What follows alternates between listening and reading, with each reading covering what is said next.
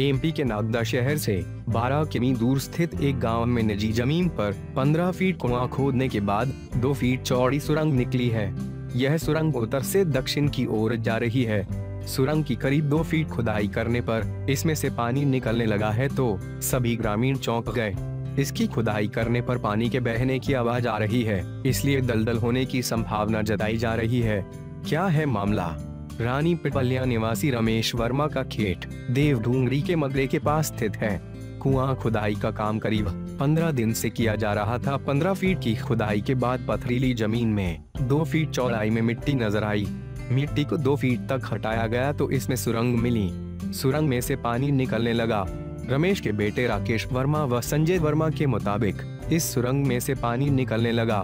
जैसे जैसे खुदाई की जा रही है वैसे वैसे पानी बाहर आ रहा है। और पानी के बहने की आवाज़ भी आ रही है। दलदल होने की संभावना पर काम को रोक दिया गया। ग्रामीणों ने चमत्कार बताकर यहाँ पूजा अर्चना भी की।